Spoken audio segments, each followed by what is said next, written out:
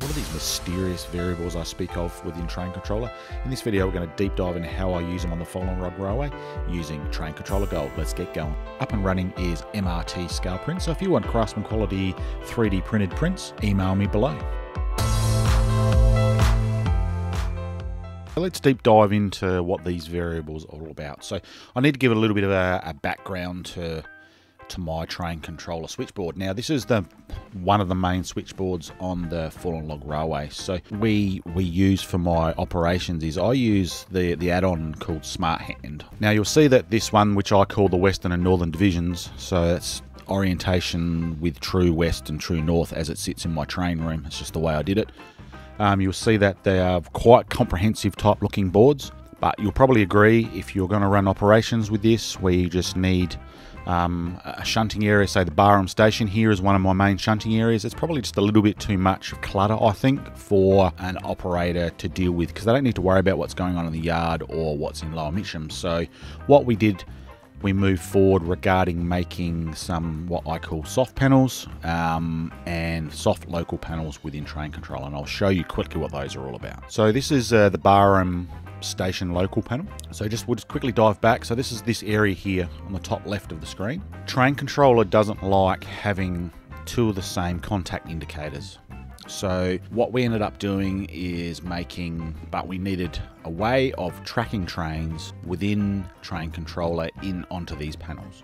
So what we needed, what we found we needed, we still needed some pertinent information to be on the switchboard. For example, names of the blocks and the trains and that of the locos. I'll give you a little brief rundown what variables. So as you know, we define names in the general tab of train controller. So I'll just bring one of them up quickly doesn't matter which one it is, the general tab. So it doesn't matter what aspect or what object we're looking at. We actually rename everything within Train Controller so it's easier to fault find and navigate our way around the, the software. But unfortunately, the software does not allow us to access this information what they call dynamically. So for some reason, perhaps maybe to avoid the danger that we might set up the same name of two different objects, then how then the issue with that is as I sort of talked about before how would then train controller distinguish between them so to avoid this problem I'm assuming that's why Mr. Freiwald um, does not let us access these dynamically However, there's a little bit of light at the end of the tunnel. Uh, TC allows us basically to manipulate the references to the objects, but as discussed, not their names. So what we had to do, so this is not all my doing, so this is another gentleman I've been working with and big shout out to him. He doesn't like to be identified, but he knows who he is. Um, so we descri- uh, sorry, we worked together and constructed a parallel system working with the names within Train Controller. How he has put it, Train Controller does the referencing of the names, so as we spoke about before on the general tabs, but we do the actual names, and I'll show you how that comes about very shortly. So at this point, it's probably pertinent to sort of go back and dive into a little bit regarding some background of the control system within train control and how I run it. So each train on my layout has one train controller car pulled by a train controller engine. So what I mean by that is I'll just quickly go up to the engine and trains tab. So we've got train controller wagon, I'm sorry, I'll go into something that was actually a wagon, train controller wagon, control and controller engine. This convention started for what we call our shunted freight trains. So train controller is very, very good at automatic trains, running trains around a layout with very, very lim limited human interaction. But we wanted to go one step further. We still wanted to have what I'm calling that bridge traffic, but we also wanted to have what we call shunted trains. So that's REMA operations. So that's a train going from point A to point B to C, and then shunting some uh, stations in between. So the shunted freight, uh, as the name suggests, are trains that are, have rear wagons that are shunted or switched, depending on which part of the world you're in,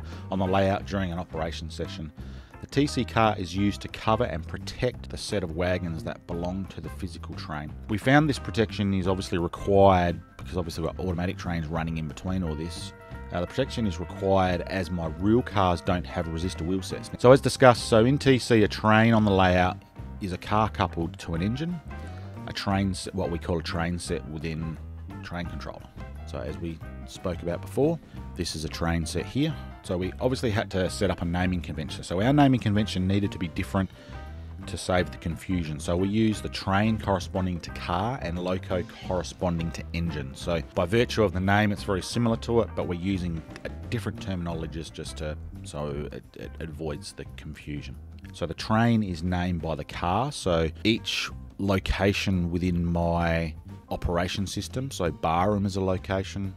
So as I said, the the train is named by the car, Barham 1 or Barham 2, so that means only that wagon set or that particular TC wagon can go to Barham.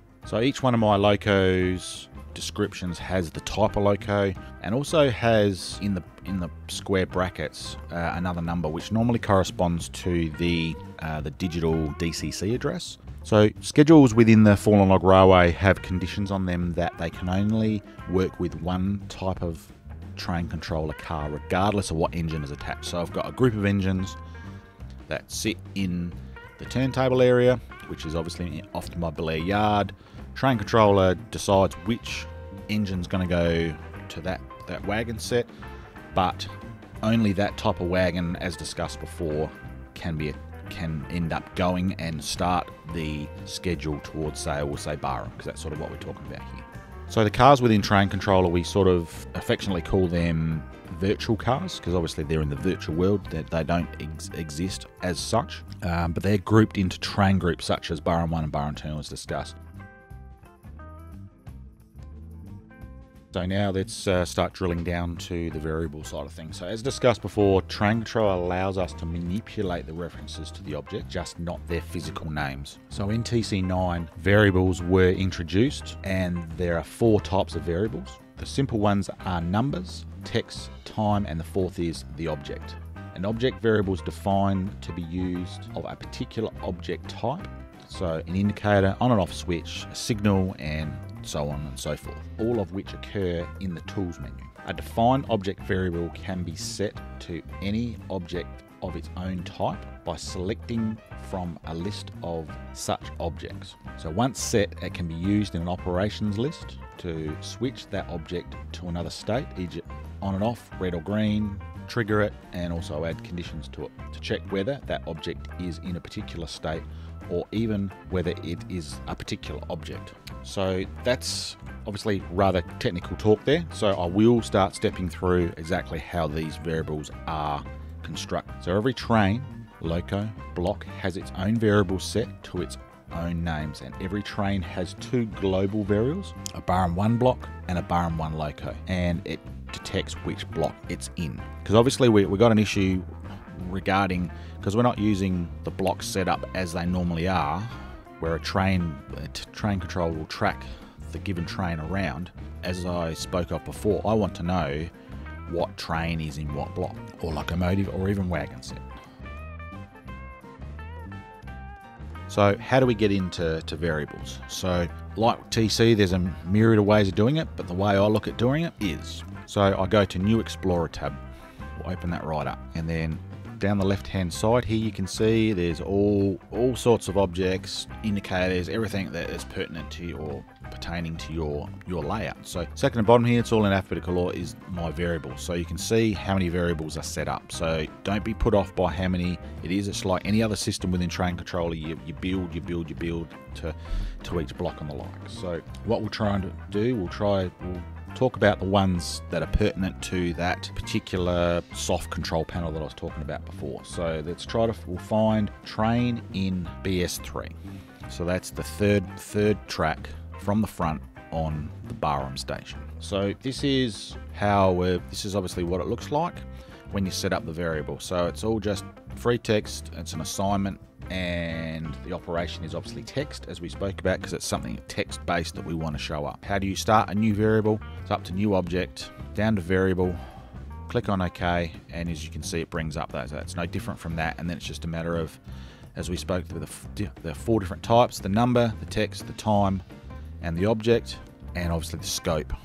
So we'll, we'll touch on the, the different scopes um, a little bit further on in this video. But this particular text variable is global. So the next variable we looked at doing is train name. So this is, I'll just quickly go through this and I'll step you through each of the variables and then how they link in with each other to do what we're trying to achieve here. So train name, so as you can see this one, the variable's called, it's a text variable, it's called the train name, but the, the scope is train on this one. So as before, go into new object, variable, and then you give it a name, which would be train name, defaults, you go to text, and then it's not a global one because you want it specifically the scope going to that individual into a train, not not globally being able to use it. So the issue we had was we, we had a problem that we had to give um, give a name to the cars or an engine because in TC both are called vehicles or trains. So we had to give each car and engine two text variables, one called the train name as we sort of spoke about, and the other one called the loco name with both the scopes set to train. So I just showed you how to set the scope on it. So how do we, do we set these up? So they can be set up in the context of a train. So the easiest way we found to access these is via a function within train controller, so an engine function. So each of these functions we've, we've created is called set train name and or set loco name to be set to the appropriate train variable.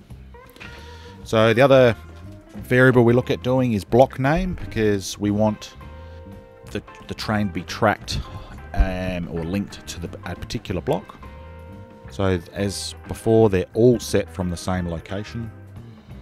Variables and depending on what block you are using. So block name. So the only important one here is the scope, which is obviously set to block. So it's only going to look for the block. So the next uh, variable we're going to look at is I'll go to there's there's a railcar set that runs into my into my Barham station. So we need to define them within a variable. So we got railcar one block and also rail railcar one loco. So they're all in here alphabetically and they're made exactly the same. I'll just quickly go and find one of them. I'll go and find railcar one block Okay, so what I'll do, I'll go and find you Railcar 1 Loco. So this is it here. So specified under the name, we call it Railcar 1 Loco. The operation is assignment. It's obviously text. And that is it there. So what we also need to look at doing is setting up a macro. So how do we access the macro side of things? So there's a few different ways. You can either go via the edit tab macros or you can go via the Explorer. So we'll just so what does this macro do? It sends the train function current block. So that train functions get sent to the current block to the train entering the block and basically turns it on or off or pauses it, which then in turn sets the global variable. So an example of that would be barham1 block equals text variable block name. So that becomes all very apparent once we get out into um, onto the switchboards or the soft panels and how we put those text variables in there. What we need to do is send block name. I'll go and show you quickly how that's done. So there's nothing in the op conditions tab. That's just a matter of going into train operations, current block, slight delay, current block. So what we need to look at doing is making those functions that we spoke about before. So set loco name and set train name. So how do we do that? So you've got a functions library that you can set up and set up your own icons effectively. So we're still in edit mode, functions library under the trains tab, but the ones we're looking at is set loco name, set train name. All right, so it's just a matter of you go, you go that, you go new, you can import and export icons. So you can go into that. So I was talking about edit images, so it's all sort of dot matrix type thing. So he's gone. That's how we've how we've physically gone in and made that is purely just like that. I nearly forgot this little guy. So also we need to add the third function, which is current block. So that's just a, exactly the same process. Push new. You can then rename whatever you want. You can change the icon as we've already spoken about, then OK out of it, and then that will set that new function. So that'll become apparent when we go across into the macros and link that to this particular function.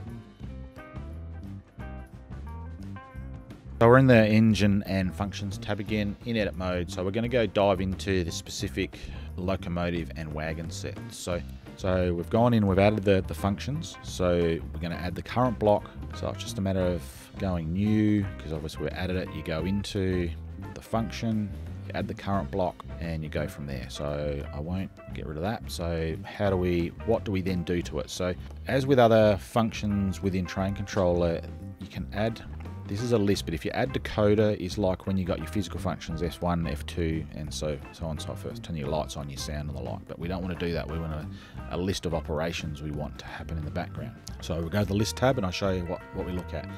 So in the operations tab, there's no conditions, so we just do the operations tab. So how do we find where the, the variable is accessed? So you may, when you come in, will come in on system operations, go to flow operations, access variable, and you add it. So then we're going into change. And what, what we want to do is we want to, because we're going rail car one block. So the current block is, it's, it's wanting to tell us which the current block is that rail car number one is in. And that'll feed back to the system. So it's just a matter of finding those variables that you made earlier. And there it is there. I won't go and add it. That's what we do. So you then go and add. Then after that, no, I will go and add it just quickly. So start a new variable. So you'll go into rail car one block. Um, the operation will be assignment because you're assigning it to that. And it's going to be a variable because we want to go and access another variable. We want to access what block name it's going to go into. So it's just a matter of going and finding that and then go. So that's exactly the same as that bottom one. So that's how you roughly do it. So it's obviously very important you set up all your variables first before you start diving into this bit. So we'll just remove that quickly. So the next one we're going to look at doing is set the train name. That's also a list, so we can list um, the operations. Still no, no conditions there as you can see. So you access it flow control again. Same thing is access to variables. This time is obviously, as the name suggests, train name. And this time we want to set it as railcar. So you, you specify the variable you want, which is the train name one, which is an assignment, it's text. And this is where you physically write in railcar one. So that's what's going to come up in the, the, the, the global text when you set it on your uh, control panel, which I'll show you later. And the last one is uh, get loco name, which is same thing. It's you just add your list so you can access the operations tab. No conditions on this one either. Go via the flow control. This time we set, we select rail car one loco and then the text variable loco name. So that will then feed the loco name into your your text variable, uh, sorry, your your general text later on. Alright, so now we need to start looking at what we need to do within the block. Because within Train Controller, there's no way to get the context of the block except by using an indicator. So what we mean by that. So what we use, we use an occupied flagman to set the block name. So what I probably needed to, to add, and this is what that can take a bit of time, but once you sort of get the process going, um, doesn't take all that much time. So each variables to work on depending on how in depth and how much information you want coming back to the system via the variable is you need a, to create a text variable for each block the train's going to transverse through. So if you just want it in a destination block, um, start block and a destination block, that's all you put. Okay, so we insert the flagman into there, and this is obviously the gone through the trigger, train in, so we, we call up, we add access to variable, train in BS3, it's an assignment variable, and then we want the train name. So we then add the value of the train name and then you create it. Then also we look at in the operations tab, go on the block name BS3. So that's what we're going to call it. So this is where we're going, we're starting to manipulate names within train controller so we can use them elsewhere out on the switchboards. So we've got the block name variable that we've set up earlier and this is where each individual block. So BS3, you do one for BS4 and so forth and so on depending on the name of the block. And then obviously the macro that we set up before, uh, send block name to train. That's all the only variables you need. But we've gone one step further where we've gone into an each individual block that the rail car will go through. Where that becomes relevant for us is we use this quite predominantly with a central control panel. So this is going to be form part of my remote or virtual operations that this is every schedule, or sorry, every train transverses, the fallen log railway, can be started from this location um, as a, a dispatch panel. So where those each individual block becomes relevant is down here. So you can look at any given time to find out where on the layout this that given wagon set is. So in this case, I know Barham 1 is in Belair Yard track 4. So what I'll quickly do, I'll just quickly go out of edit mode, and if I was just to put, just to drag and drop that into BY5, and now you can see that it's changed to BY5. So you can imagine as you go through all your blocks, this updates in real time. As you can appreciate, this system did take a little time to set up, but it's just giving you some sort of idea the power of, of the system.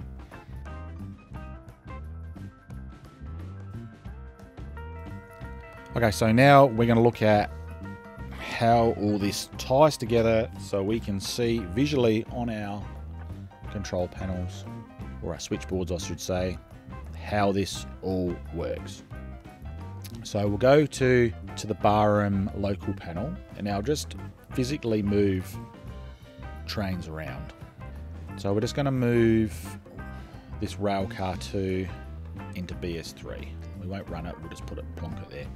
So then I'll go back over to the Barham local panel and you'll see we've set up, I now know that this block is now occupied, BS3, and Railcar 2 is currently in it. So how have we, how do we get this text up? So what we need to do is we're in edit mode is, so it's just a text element. So the code that you put in is percentage sign, capital V, and then it'll automatically come up with the two boxes and I'll show you what you do then. So we'll put it just down here. So what we need to then do is, all we need to do is go up to this little icon, the ABC. If it's not up on there, it's going to be in under probably your tool section here. It'll be in under your tool section.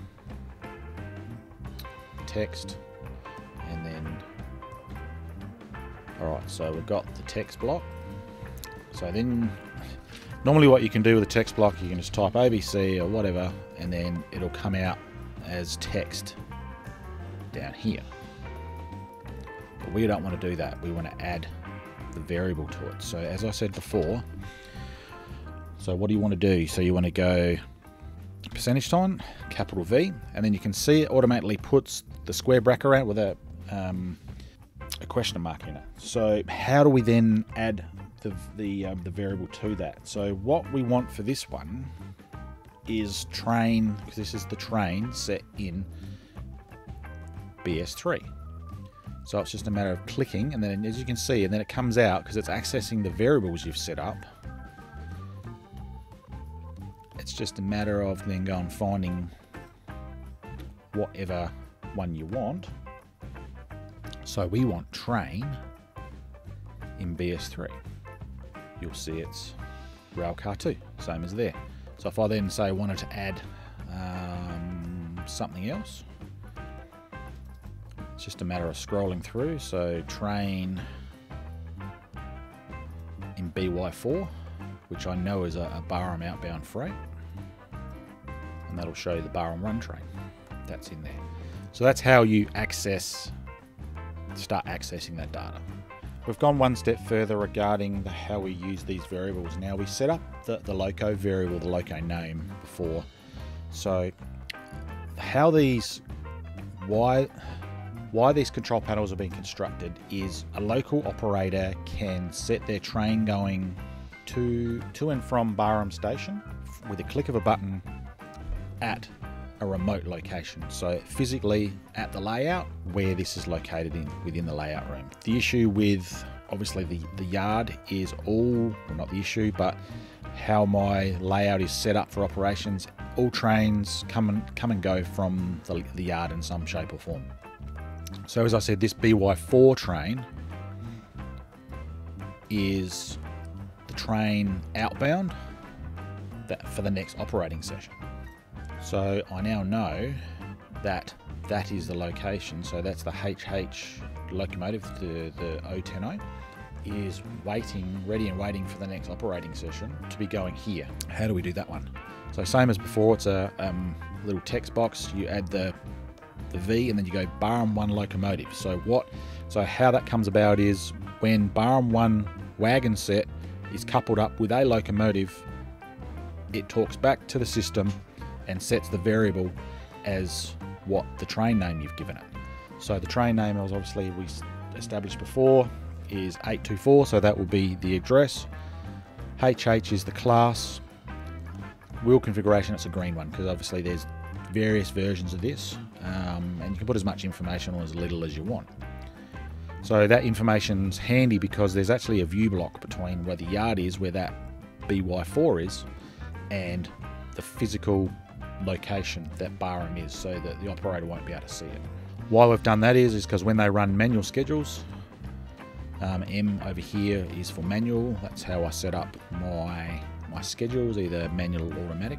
They can then set that train correctly with their controller, their physical hand controller, and they can start running that train towards Barham. So let's see how this all links together on my Fallen Log Railway. So let's just quickly go over to my central control panel where I start all my schedules from.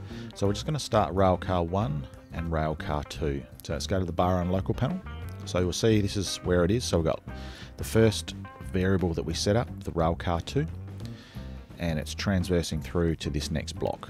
So you'll see in BS3 here is where Railcar 1 is sitting, and the route has now been set. The red hen is now on its way, as you can see down here on the soft soft control panel. And very shortly, as it transverses its way its way through, it'll it'll pop up. So now you'll see railcar one is now here, railcar two is now up there. So let's now add the new dimension to this. So now I'm going to add a freight train. So for, so for the interest of keeping this video as short as I can, I've bought the train would normally start in Belair Yard, but now I've bought it right over here. So we've got Barham 1, Railcar 2 in behind it, and the Railcar 1 is currently sitting up here.